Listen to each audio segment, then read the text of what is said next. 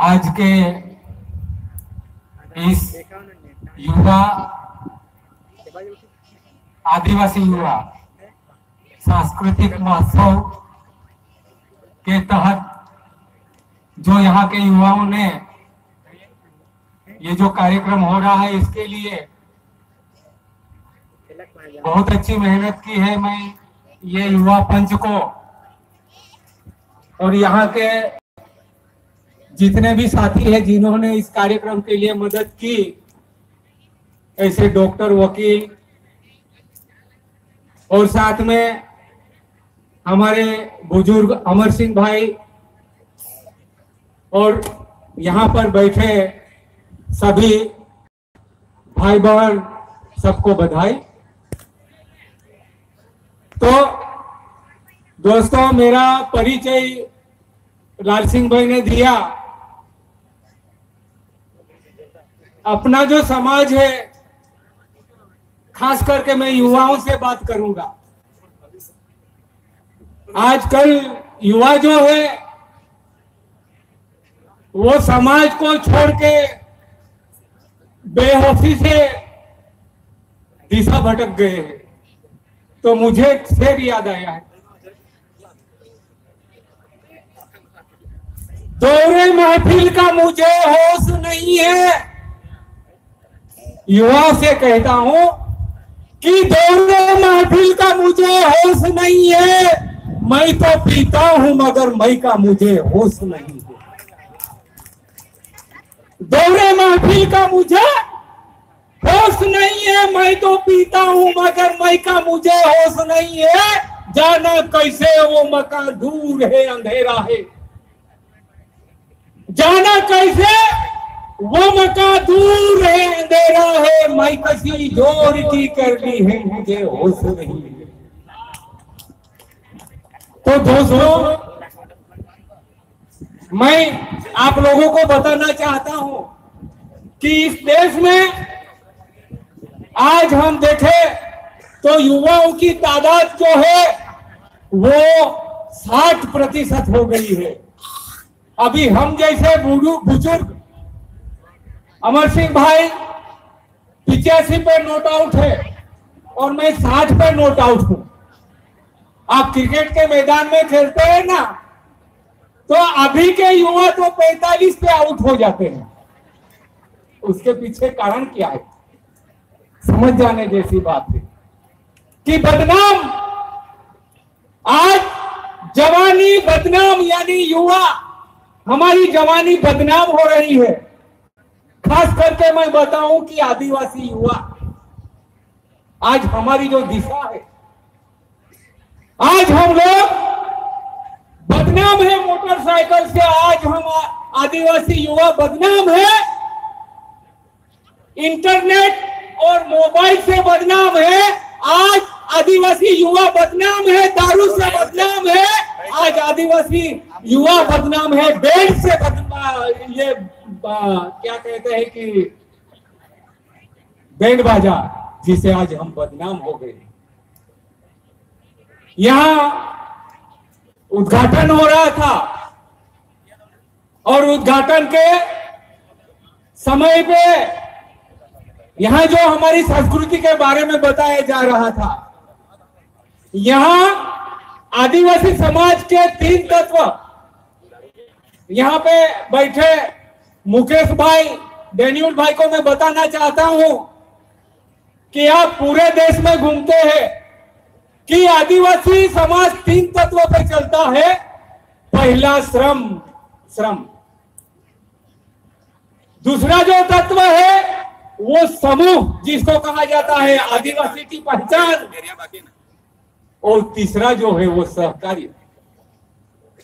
कि आज आप युवा युवा लोगों ने सिद्ध कर दिया कि हमारा समाज सहकार्य से जीता है और इस तरह से समूह में इकट्ठा होता है। ये अपनी पहचान है। कि दोस्तों, आज पूरे देश में ये जो व्यारा है ना, आप लोग जानते नहीं है। आज ये व्यारा पूरे देश के आदिवासियों को इकट्ठा कर रहा है और पूरे देश के युवाओं को इकट्ठा कर रहा है। इनसे पहले 25 साल पहले अशोक भाई चौधरी, जिन्होंने हमारे इलाके में आके एकता परिषद बनाने की कोशिश की, और आज पूरे देश के आदिवासियों को इकट्ठा कर दिया।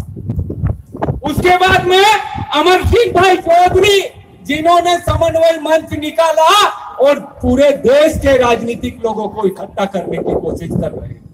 और आज मुझे खुशी है कि आज पूरे देश को, देश के युवाओं को इकट्ठा करने के लिए आज लोग यहाँ पर ये कार्यक्रम रख रहे हैं। तो मुझे विश्वास है आप लोग पूरे देश के आदिवासी युवाओं को इकट्ठा करेंगे। तो समझने जैसी बात है, हम क्यों इकट्ठा होते हैं? हम क्यों इकट्ठा होते हैं? जैसे ही एकता परिषद इकट्ठा हुई, देश में शुरू हुई तो देश के आदिवासी इकट्ठा हुए तो हुए, पर देश के पूरे आदिवासियों ने अपनी संस्कृति को बचाने के लिए कार्यक्रम चालू कर दिया। तो ये ग्यारह का लिए बहुत बड़ी बात है समझने जैसी तो मैं एक बात पे अभी जा रहा हूँ। अभी चंद दिन पहले मेरा एक दोस्त है उसकी लड़की आईपीएस में पास हुई और पूरे भारत देश में है सिर्फ़ 50 आदिवासी बच्चे आईपीएस में निकले। लाल सिंह भाई। तो इंटरव्यू में उनको बिठाया और पूछा गया, आप आदिवासी है? तो उन्होंने बोला हाँ मैं आदिवासी है। वो लड़की, उसका पिताजी बहुत बड़ा अफसर है बंबई में। यानी कमिश्नर है आदिवासी बंबई में, उसकी लड़की, वो मेरा दोस्त है। उसको भोपाल में पूछा गया कि तू आदिवासी है आदिवासी। तो आदिवासी का एक गाना गा, वो तो चुप हो गई। फिर आदिवासी की कोई देव देवियाँ कुछ परंपरा के बारे में आप जानती है? आदिवासी के दो देव कौन से? वो तो बंबई में रहती है।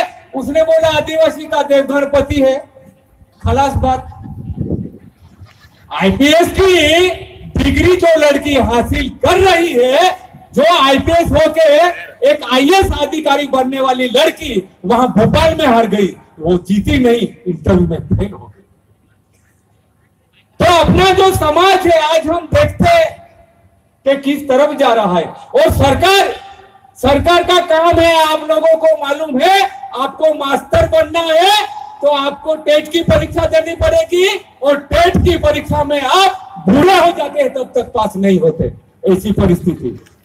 आज निर्माण हो रही है। ऐसे में अगर इंटरव्यू में पास होने के बाद में ऐसे सवाल पूछेंगे तो युवाओं से कहता हूँ, आप क्या जवाब दोगे?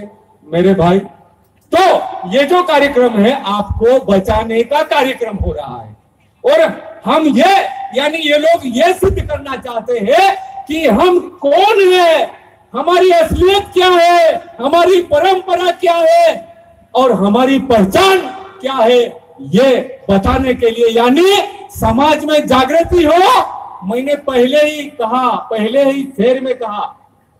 वैसे तो मुझे नहीं कहना चाहिए किसी शायर ने कहा है किसी किसी की ऐब को बेनकाब ना कर। किसी की ऐब को बेनकाब ना कर खुदा खुद करेगा तो हिसाब ना कर। फिर भी करना पड़ता क्या करेगी? वाह वाह। तो दोस्तों आप लोग जानते हैं, अच्छी तरह से हम आज आदिवासी होने के नाते आज जो आक्रमण हमारे पे हो रहा है, आज हम सालों से पांचवी अनुसूची लगाने की कोशिश कर रहे हैं तो भी नहीं लग रही है। उसके पीछे कारण क्या? समाज की पूरी दिशा एक तरफ़ जा रही है। समाज की दिशा एक तरफ़ जा रही है, जो लोग जानते हैं वो बोलते नहीं है। जैसे डॉक्टर, वकील राजनीतिज्ञ पढ़े लिखे, जितने भी ग्रेजुएट से लगा के आईपीएस आईएएस अपने समाज के, वो जो जानते हैं वो बोलते नहीं, और जो बोलते हैं वो जानते नहीं आज ऐसी स्थिति है। तो ऐसे में हमारा जीमा बोलता, हमारा जीमा बनता है कि अपने समाज को हम लोगों को बचाने के लिए और हमारे समाज को बताने के लिए और हमारे समाज को एक दिशा देने के लिए ऐसे कार्यक्रमों की ज़रूरत है। आज जो आक्रमण हमारे यहाँ आदिवासी इलाके पे जो आक्रमण हो रहे इसके बारे में भी हमको समझ लेना पड़ेगा। वो आक्रमण इसलिए हो रहे हैं कि हम लोग हमारी अस्मिता खो चुके हैं। हमारा अस्तित्व क्या है, इसको भी हम जानते नहीं है। इसलिए हम पे आक्रमण हो रहा है। हमको आदिवासी तरीके, यानी आदिवासी के नाम पे हमारी पहचान हम लोग मिटा के खत्म कर चुके हैं, इसलिए यहाँ पांचवी अनुसूची नहीं लग रही है। कितना भी हम आंदोलन करेंगे, कितना भी संघर्ष करेंगे, पांचवी अनुसूची नहीं लगेंगे तो इस देश में और आदिवासी समाज में जो 60 टका युवा वर्ग है, वो मैदान में निकलो और मैदान में इस तरह से निकलो कि मेरी पहचान मेरे साथ हो सामने वाले पूरी दुनिया झुक जाएगी और पांचवी अनुसूची भी लग जाएगी। तो इसलिए ये सांस्कृतिक कार्यक्रम ज़रूरी है। और तीसरा जो है, अभी हम लोग आप लोगों को बताता हूँ, मेरे यहाँ मेरे यहाँ नंदुरबार ज़िले एक दिन में पैतालीस एक्सीडेंट आते हैं। मोटरसाइकिल पे युवा वर्ग, अपने युवा लोग, एक दिन के पैतालीस। तो वहाँ पे वडवी डॉक्टर है, वो बताते हैं सांगलिया भाई, आप कार्यक्रम, क्या कार्यक्रम कर रहे हैं? हर रोज पैतालीस युवा मर रहे हैं। तो आज ये दिशा है। तो हम कहा जा रहे हैं, ये समझ लेना पड़ेगा। भाइयों, हमारी लड़ाई जो है, वो लड़ाई की दिशा पकड़नी पड़ेगी, अर्थात इकट्ठा करनी पड़ेगी। ऐसी परिस्थिति आज देश में आदिवासी समाज की हो रही है, और जितने भी आक्रमण हो रहे हैं हम लोगों को दिशा से भटका के, यानी दिशा से भटका के आक्रमण हो रहे हैं। हमारी संस्कृति, हमारी परंपरा, हमारे देव, हमारी पूजा विधि से लगा के हमारा खाना, मैं आप लोगों को बताता हूँ, यहाँ जो खाना बना, हमारे सातपुरे में सातपुरे में मकई की रोटी, मकई की रोटी और उड़द की दाल, वहाँ जाके दरगाह में देखो, पूरे हिंदुस्तान में ऐसी सुंदर लड़कियाँ बेटियाँ नहीं है। वहाँ बाहर बाहर से आने वाले वो सुंदर लड़कियों को देख के मुँह चाटते हैं, ऐसी लड़कियाँ कहाँ से आ गई सातपुरे में?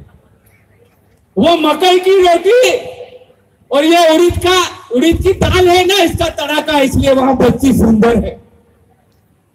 और मैं आपको बताऊँ, मेरी दादी 135 साल में मरी 135 साल में मरी मेरे पिताजी के 11 भाई 11 भाई, वो ऐसा कहती थी, ये क्या 108 लगाई है? वो बोलती थी 108 क्या लगाई है? अरे, एक झटके में बच्चा बाहर। ये जगू गाता था, भीड़े पाली वाला, भीड़ा पाली वाला, वो मुर्गी भी भीड़े में पकाती थी, मच्छी भी भिंडी में पकाती थी, दाल भी भिंडी में पकाती थी, बकरे का गोश्त भी भिंडी में पकाती थी हर चीज़ गोश्त में पकाती थी। एक भी दिन दवाखाने नहीं गई। 135 साल की उम्र में एक भी इंजेक्शन नहीं लिया। वो बोलती थी, क्या 100 108 की बात कर, एक ही झटके में बच्चा बाहर? ऐसा बोल देती थी ये क्या लगाया है आप लोगों ने? खाना तो ठीक खाओ। ऐसा वो मेरी दादी कहती थी, आज भी दोस्तों, हमारे साथ सातपुड़े की मैं आपको बात बताऊँ? अपने आदिवासी समाज में तो एक एक काका है ना, वो नमक बोता था, नमक हल चला के। तो एक तेतरिया करके आदमी उधर, अरे, तेतरिया, ये क्या कर रहा है? अरे, यार, ये नमक बो रहा हूँ। ऐसा बोलता था। अरे, पागल, नमक क्या बोया जाता है क्या? ऐसा उसको बोला। तो वो बोले, इसके लिए मुझे अक्कल को आ जाना पड़ता है साल भर में। और एक किलो शक्कर लाता था तो बारह महीने शक्कर पूर्ति थी अपने नीचे वाले जाए तभी चाह बनती थी। तो आज वो लोग एक भी इंजेक्शन नहीं, और ये भिंडी तो समझने जैसी बात ये भिंडी। ये भिंडी खाने वाले को ज़िंदगी में कभी हार्ट अटैक आ ही नहीं सकता। महीने में कम से कम आठ दिन भी खाओ खट्टी भिंडी, आपको हार्ट अटैक भी नहीं आएगा, लकवा भी नहीं आएगा, डायबिटीज़ भी नहीं होगा। और अपने बच्चों को पका देते हैं ना, है, तुमको ये क्यों पकाई है? ऐसा ऐसा बोल देते हैं। फिर क्या होगा? लकवा होगा, ये होगा, जो अपना पारंपरिक खाना था। यानी डांग का भुजिया, हमारे यहाँ हमारे यहाँ दादर की रोटी और वहाँ की छोटे, यानी जो दाल, मूंग की दाल, ऐसा पूरे देश में यानी जो व्यंजन है, उसमें विविधता। आज मैंने यहाँ देखा, शहर के लोग आए तो हम लोगों को डेढ़ घंटा खड़ा रहना पड़ा। सात आदमी को खाने के लिए, वहाँ खाना नंबर नहीं लगता था। ये भी थक गए हैं बेचारे।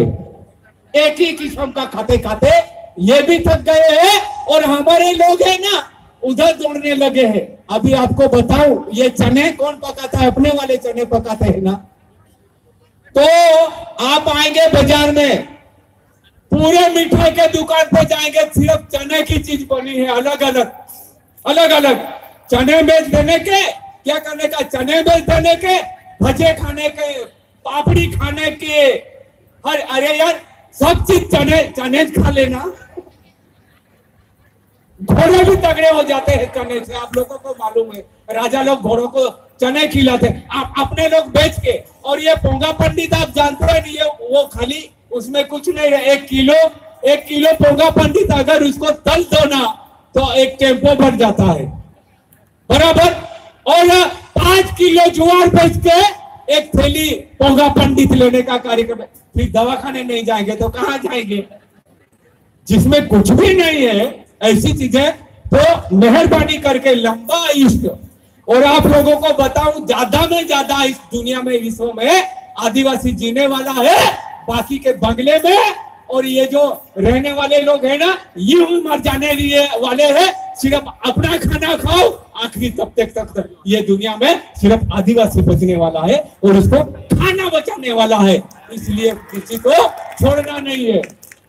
तो हमारे कौन कौन दुश्मन है इसकी पहचान हम लोगों को कर लेना पड़ेगा। सबसे पहला खाना अच्छा खाओ, जो स्टोर लगा है ये बना के खाओ। कभी मत छोड़ो, ऐसी कई लंबी बात है। ऐसी कई लंबी बात है। हम मिलते रहेंगे, मिलने वाले हैं। यहाँ पर मेरे समाज के सामने बोलने के लिए विरल भाई, लाल सिंह भाई, अमर सिंह भाई, यहाँ के पंत, आप लोगों ने मुझे अवसर दिया। और आप लोग ने सुना, इसके लिए सबका धन्यवाद। और मिलेंगे, फिर मिलेंगे। और अगला जो सम्मेलन होना, होने जा रहा है, शेरवास में, वहाँ पर अपने पूरे देश के चिंतन आने वाले हैं। उनको भी सुनने के लिए आप आओ। चौदह, पंद्रह जनवरी को इतना कह के मेरे दो शब्द पूरा करता हूँ। सबको आपकी जय धन्यवाद। खूब खूब बाबा संगला दादा आपनो